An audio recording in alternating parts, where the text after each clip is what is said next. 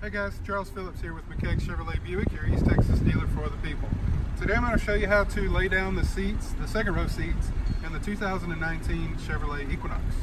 So two different ways to do it. Um, first, first of all, I'm going to show you how to do it from the uh, actual seating area. There's a little handle just on the top of the back seat. You'll pull forward on that, and you got a 60-40 um, split, so you can fold each side independently from themselves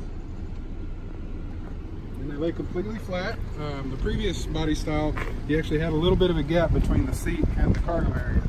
So to raise it back up, you just simply lift back up on it, make sure your seat belt's out of the way. Locks into place there.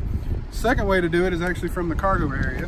Come around to the back here. And then on the passenger side, you'll notice two uh, little handles here. And the little pictures on here kind of explain which side you're going to pull down. So this one's a smaller side, the 40 side and this one here is the 60 side. So we're just gonna pull back on this tab here and the seats lay down kind of forceful, so make sure there's nothing up there that you don't want damaged and um, simply lift it back up from the uh, passenger, passenger area. And then there's the 60 side, so you got tons of cargo space back here. Um, I mean, you can fit just about anything you want to back there. So uh, there it is, guys, the uh, folding seats in the 2019 Chevrolet Equinox.